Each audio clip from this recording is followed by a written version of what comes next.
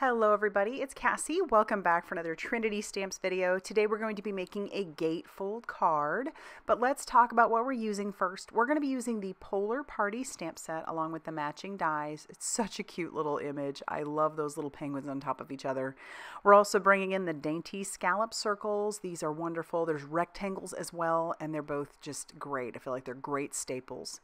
So let's do our stamping first. I have some X-Press It cardstock that I put into my Mini Misti, and I'm taking each of the pieces that I need, each of the stamps, and we're just going to stick that in there, close the door of our Misti, and then we're going to ink this up with some blackout ink by InkOn3 because, as you guessed it, with the X-Press It cardstock and blackout ink, we are going to be doing some alcohol marker coloring. I'm going to use my Olos.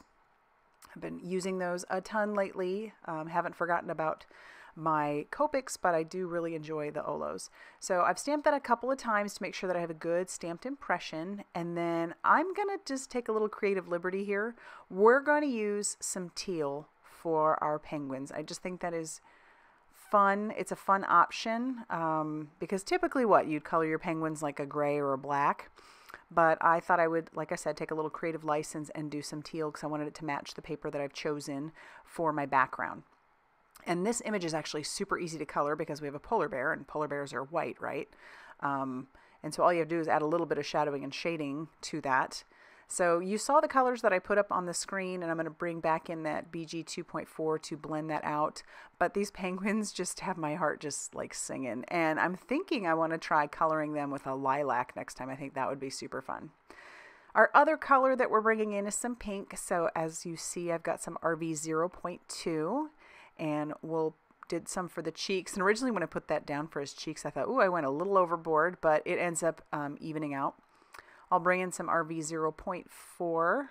Um, that's my darker shade. And then we'll blend that back with our RV 0.2.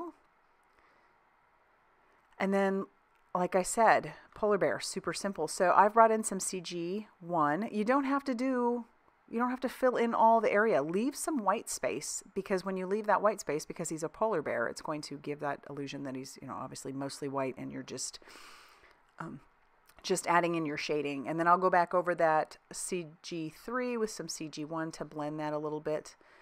And then for the beaks and their feet, we've got Y0 2.3 and Y0 2.5. And there you have it for our image just super simple. And I did decide to keep our happy holidays mostly white, so I've just brought in the CG um, one to to do the happy holidays because of the colored cardstock that I am bringing in. So I'll bring in our matching dies, tack that down with a little bit of mint tape, and we'll do the same thing for the sentiments. And then we're going to run this through our die cutting machine, and we'll set those off to the side. Now I'm going to do a little stamping on my background and my background is a piece of this turquoise cardstock. It measures four and a quarter by five and a half inches so that's the full front of an A2 sized card and I've grabbed the snowflakes from our polar party and we're going to do some embossing. Now I should have just done a little stamping covered with embossing powder, did a little more stamping covered with embossing powder, but I guess I thought I was cutting some corners, and I did all of my stamping, then tried to cover it with our embossing powder. And our embossing powder is a Wow White Puff Twinkle. So it doesn't stick to all the places. And I decide instead of scrapping this that I am going to work with it because snowflakes aren't perfect anyway, right? I mean, well, they are if you look up close, but um, in a snowstorm, it's not going, you're not going to see all that, all that pretty snowflake like perfectness, right? so we're going to work with it instead of scrapping it. And then I'll run this pink piece through my die cutting machine with our dainty scallop circle. You'll see that I have both of those pieces put into my makeshift splatter box. I've brought in some picket fence distress paint, a little bit of water, and then I'm going to splatter that all over both of those backgrounds. Um, the water will just kind of thin it out just a little bit, and I'm using a very thin paintbrush and then I'll clean up my mess just a little bit there. And then you'll notice I have the Trinity Gold palette on the side. I'm going to use the silver and we'll do a ton of splattering all over both of those backgrounds with it as well. So I think that kind of masks the fact that the snowflakes weren't stamped perfectly, and that was user error. That was not the stamp, that was my fault. I should have, like I said, stamped a little, covered with embossing powder, and then kept going.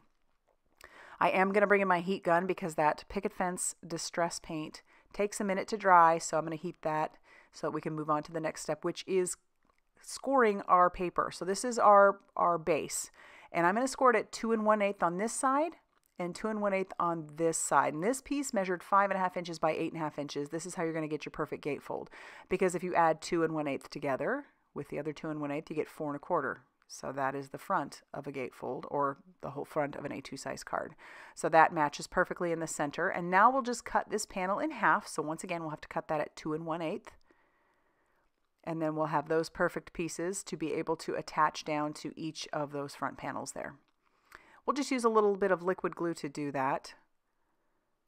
I meant to grab my crafty glue friend because that stuff is awesome, but for some reason I did not. So um, just grabbed what was right in front of me. And we'll do that with the other panel.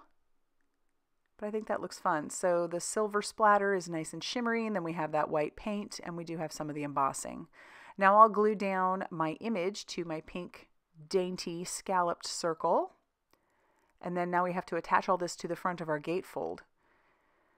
So we're going to do that with some foam tape. I'm going to do the same thing on the back of our happy and holiday and our happy holidays. We're going to put some foam squares on the back of those.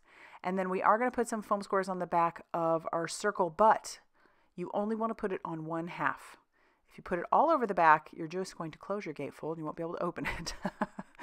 Ask me how I know. I've done it before. so just make sure that you choose a side, pick left or right. I chose left and I put all of my foam squares on that left hand side and we'll peel off all of that release paper and then we can stick this down to the front of our card. Same thing with our happy holidays. Don't go over the where you have your cut line, otherwise you'll just close your card. And that's going to do it. That's how easy gatefolds are. They're super fun, and it's just a, a different way for a recipient to receive a card, really. Um, you know, open it up a little bit differently. So if you liked this video, be sure to hit that like button. Definitely consider subscribing if you haven't already done so. And as always, I will see you very soon in another video. Bye, everybody.